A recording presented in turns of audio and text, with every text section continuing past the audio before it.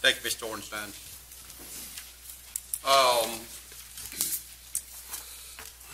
First off, I'd like to recognize, we have a group of young folks with us tonight from the Lowndes Youth Leadership. How are y'all doing? Great. You having fun with it? Learning a lot?